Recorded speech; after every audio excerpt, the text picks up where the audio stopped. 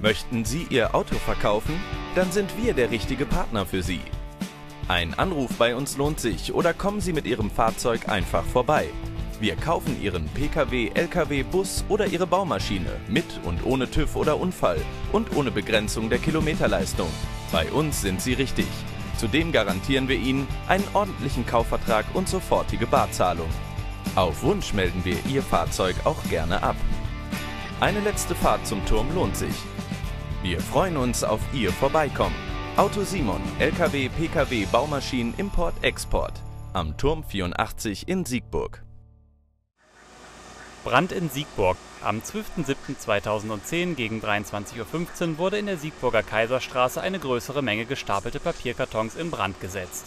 Die Kartons waren vor einem Schuhgeschäft zur Abholung durch die Müllabfuhr bereitgestellt. Durch die Hitzeentwicklung zerbarst eine Schaufensterscheibe und die Flammen griffen auf die Ladentheke über.